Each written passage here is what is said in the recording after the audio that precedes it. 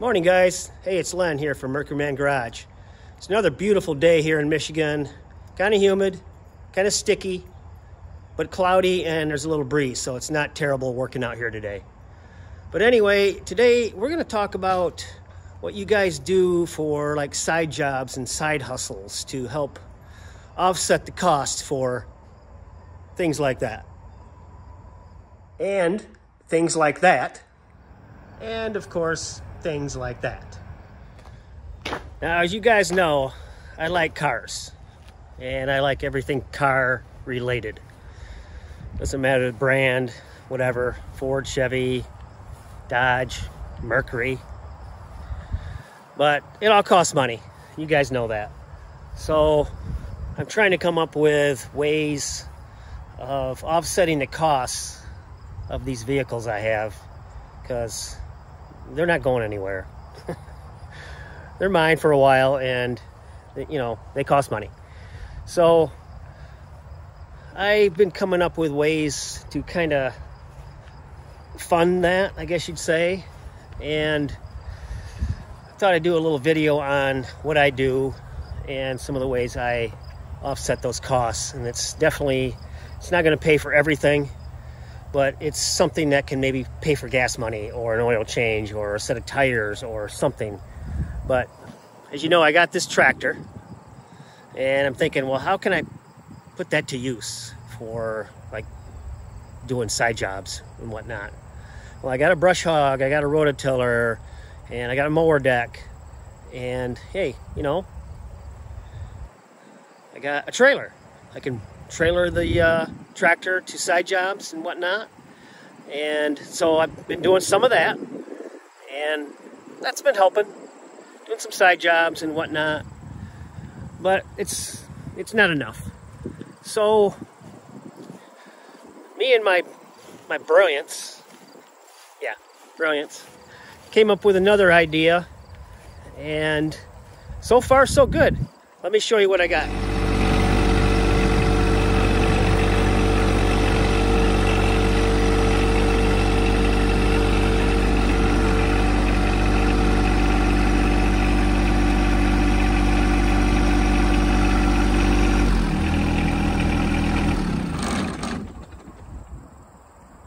Well, there it is. My retirement fund. no, not hardly. But I got a log splitter. And I think I touched on this before, previous videos, but what I'm doing is I'm doing bundle firewood. Now, definitely not going to get rich off this. And it is a lot of work, but I got access to quite a bit of wood I live kind of out in the country where there's woods and have some connections for wood, so that's not a problem. Um, just basically, I've been splitting the wood really small, um, bundling it up, and offering it for sale on Marketplace and various other avenues, and I've had pretty good success. Um, one thing I do is I also offer delivery which bundle firewood people in my area, I, I don't see that. And that seems to be working out well for me. Plus, I also am not charging much. So I'm, I'm pretty cheap and I offer delivery. I mean, what more could you ask for?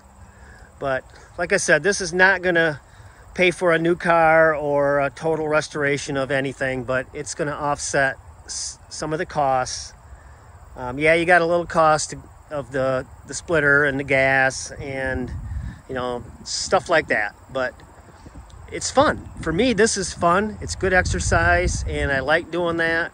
I had a chainsaw, um, all that stuff I had already. I had the tractor. I just needed a splitter and a way to bundle the wood. And I kind of came up with a contraption to do that. And um, it seems to be working out. But let me show you how this thing works.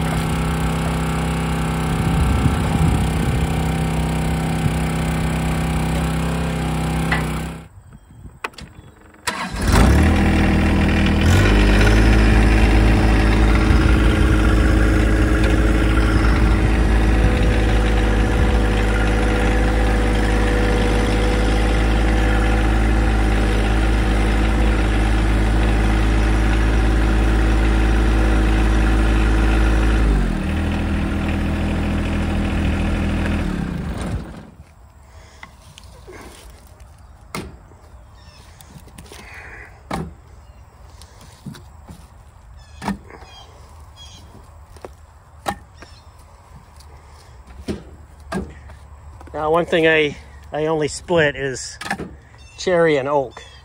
That's that's kind of the two I'm I'm using right now. It seems to be great burning firewood, and it also is good in uh, like smokers and um, things like that. Pizza ovens, rocket stoves. People like to use it in those sort of things.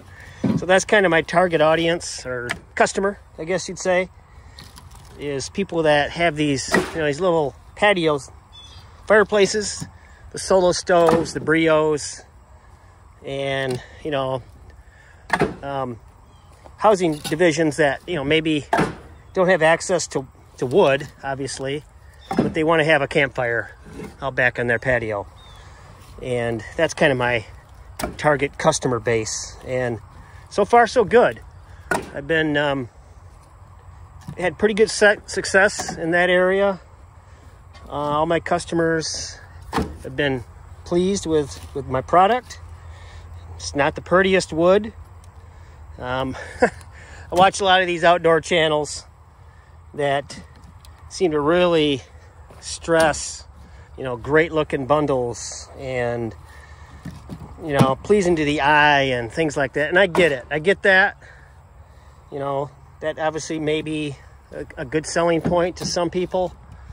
If it looks better, it's probably better. But in my experience, it doesn't matter what the wood looks like. it's, it's how it burns. And oak is going to burn no matter how it looks. And it's just got to be seasoned. That's the biggest thing is is it has to be seasoned or you're going to get a lot of smoke and it's just not going to burn. So that's what I try for is like this wood I'm cutting right now and splitting. This is this is green.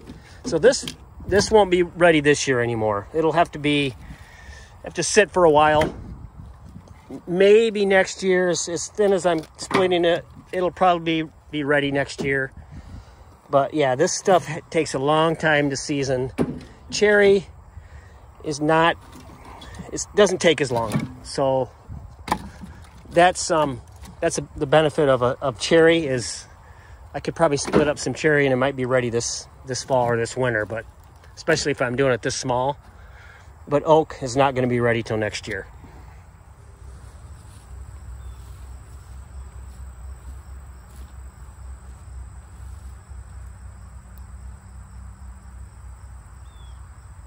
Again, guys, this is not a get rich quick scheme. That's not going to happen. Not unless you got some major like forestry equipment and numerous people that can help. I'm a one-man show here. This is this is just me. So I'm not expecting to get rich. I'm just looking for something to supplement you know my my expenses for my cars um, and to supplement my expenses for this because this is going to take some money as well. I'm already looking into upgrading my splitter to a vertical style splitter that I can get a lot more done with and it's a lot easier. No bending no stooping. Um, also I've got a bundler on order. It's called an Amish bundler. It's made right here in Michigan so that's cool. And should be getting that within a couple of weeks. It's a crank style bundler that just makes life so much easier with bundling and so much quicker than my redneck version of it right now just things like that you know, just something to make a little spending money on for, you know, my hobbies. And that's the bottom line is um, for everyone really, you know, if you got a hobby, you know, how do you fund it? What do you do?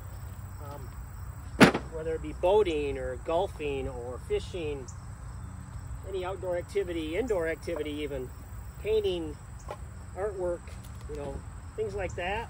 Everything costs money. And in this day and age, you know how things are. Nothing's going to get cheaper.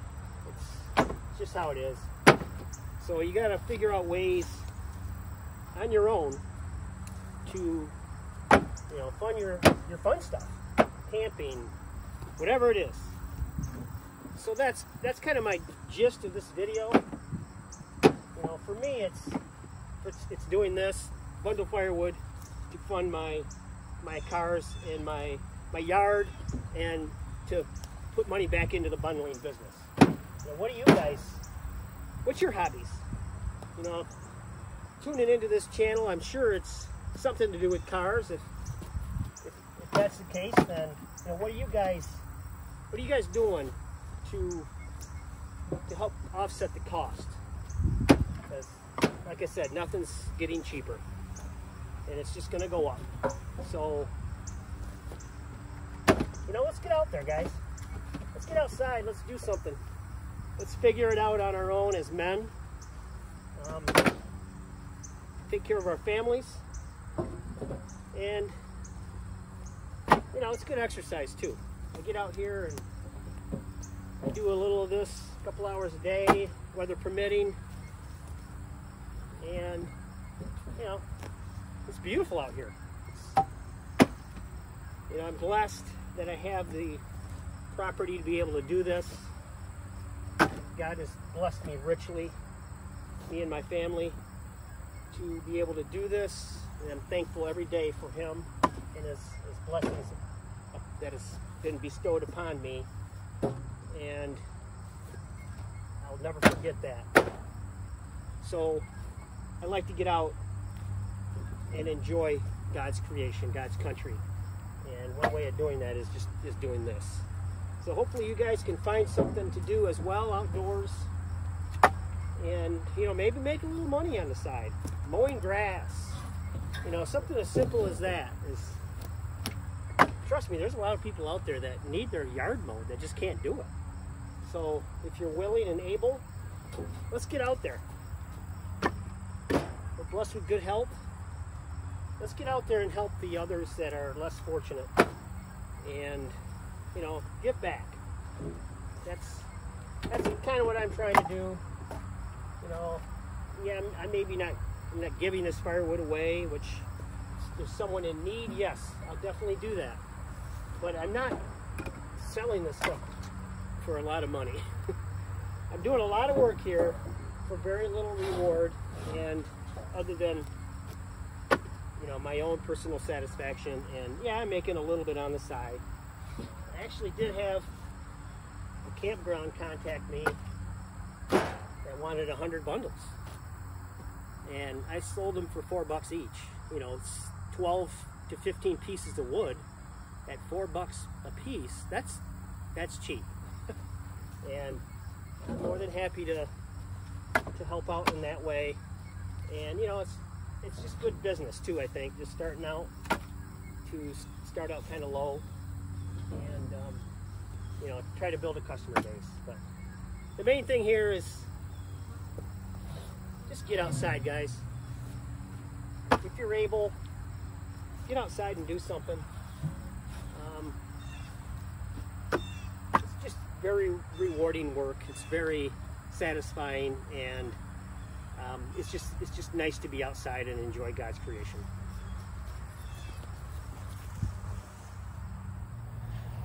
All right, guys, I think I'm going to wrap this one up here. It's starting to get very hot. The wind went down, humidity came up, and I'm dying out here. Eventually, we're going to be working in the shade.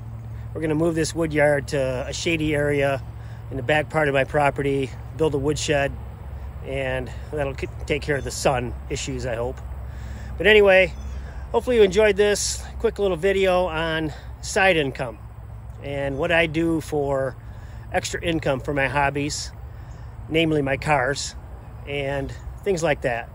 Let me know in the comments what you guys do. If you have um, side incomes for your hobbies, what are your hobbies?